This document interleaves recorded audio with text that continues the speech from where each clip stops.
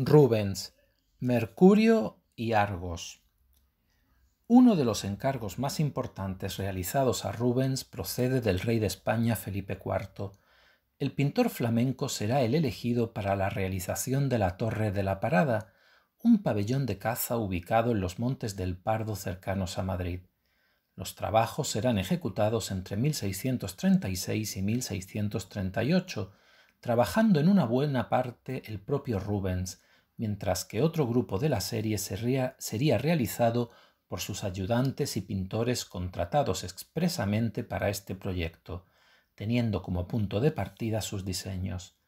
Al menos 14 de las 63 escenas que formaban el conjunto, para el que trabajó también Velázquez, salieron de los pinceles del maestro flamenco, destacando entre ellas el Mercurio y Argos que aquí contemplamos. Como en el resto de las obras de la serie, como el banquete de Tereo, el rapto de Deidamía o el rapto de Proserpina, Rubens se inspira en la metamorfosis de Ovidio para ilustrar la escena.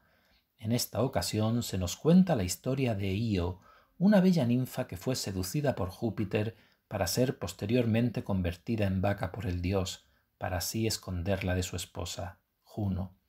Sospechando la infidelidad de su marido, Juno solicitó la bella ternera como regalo solicitud a la que Júpiter no pudo negarse. Para que, lo, para que fuese vigilada constantemente, Juno la puso al cuidado del gigante Argos, cuyos cien pares de ojos nunca se cerraban al mismo tiempo.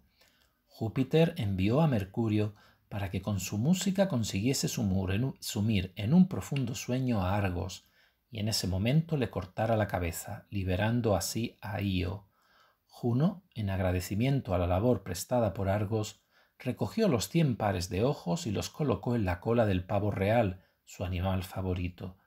Los tres personajes protagonistas se sitúan ante un fondo de paisaje, ubicándose como si de un friso romano se tratara.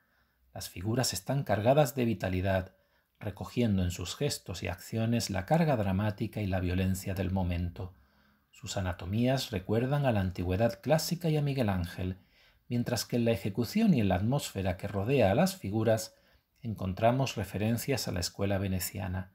El paisaje es de clara inspiración flamenca, mostrando en este trabajo la simbiosis de estilos que manifiesta Rubens en toda su producción para crear un estilo propio e inconfundible.